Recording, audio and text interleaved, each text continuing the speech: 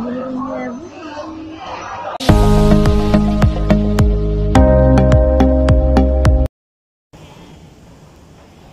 ayan guys. Uwi na ako. Hindi na ako pwede pumunta ng saan-saan kasi yung boyfriend ko, hindi na siya, ano, not feeling well siya. Kasi, gab panggabi kasi yung work niya. So, mula kahapon, wala siyang tulog until now. So, habang naglalakad, pupunta sana kami sa cable car. So, hindi na ah, pwedeng tumuloy kasi mas sumama yung pakiramdam. Saka, ano, yung batok niya, ang lamig. So, pinauwi ko siya. Pinaba, uh, pagdating ng station, so, ayun, bumaba ako, pinabalik ko siya ulit. Kasi, ano, ayokong habang naglalakad kami, baka siya, eh, may, ano, himatayin. Kasi nahawakan ko yung batok niya malamig na. Ah, masama talaga. Ano, wala kasi, mahirap kasi pag, ano, pagod, tapos walang tulog. So, mahirap yun. So, pinauwi ko. Buti na lang umuwi. Ay, nako. Pag hindi, ah, mahirap talaga. Ay, ang buhay nga talaga, no? Diyos ko, oy. Whew.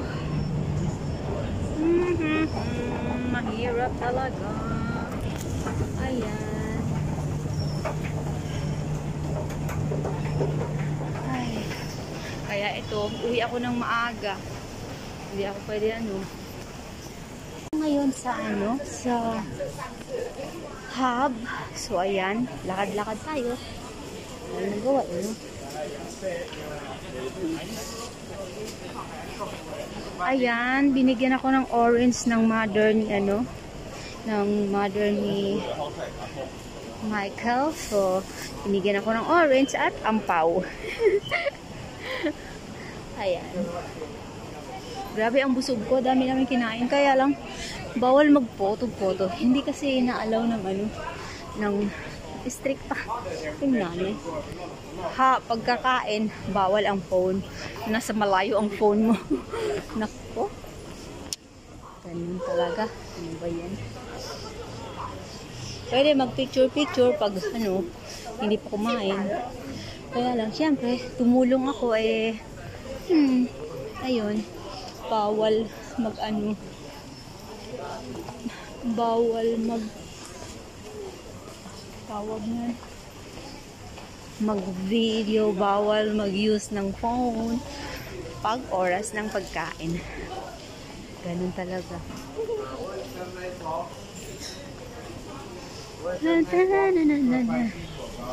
Ayan. So, dito tayo, naglalakad. Ayan. Ito sa ano.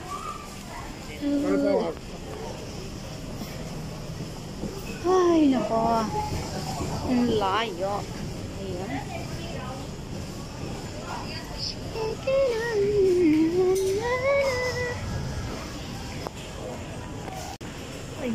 uulan na, my God. Grabe. Maulan na nga.